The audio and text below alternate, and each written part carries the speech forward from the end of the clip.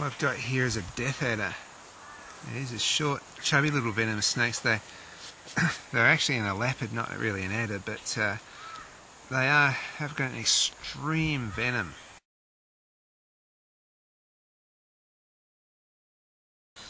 A gorgeous snake, very different shape from a lot of the snakes I'm used to seeing. They certainly do stand out.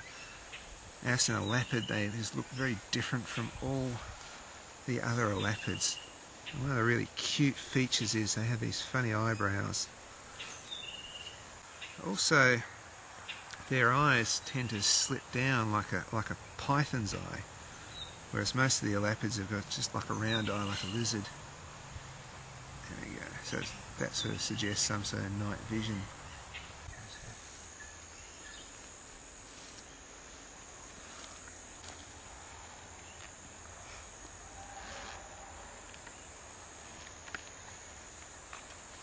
I'm drawing a little bit slower than I normally would.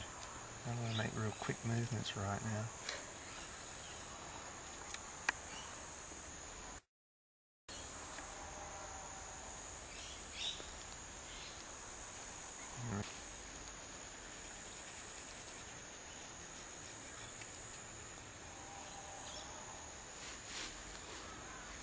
Well, I'm not threatening her, so she's not that frightened.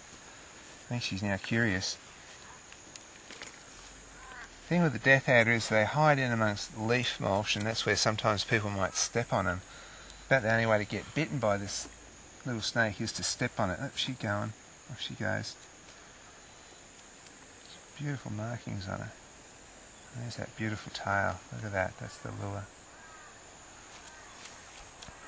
So again, it's a matter of just watch where you put your feet when you're in the Australian bush. Got to be careful wherever you put your feet. You don't want to step on one of these guys here's this beautiful tail. I'm watching the other end, but a little tip there, and that just wriggles around right in front of the nose. So when a little bird flutters down and gets that, bam, she just hits it real fast.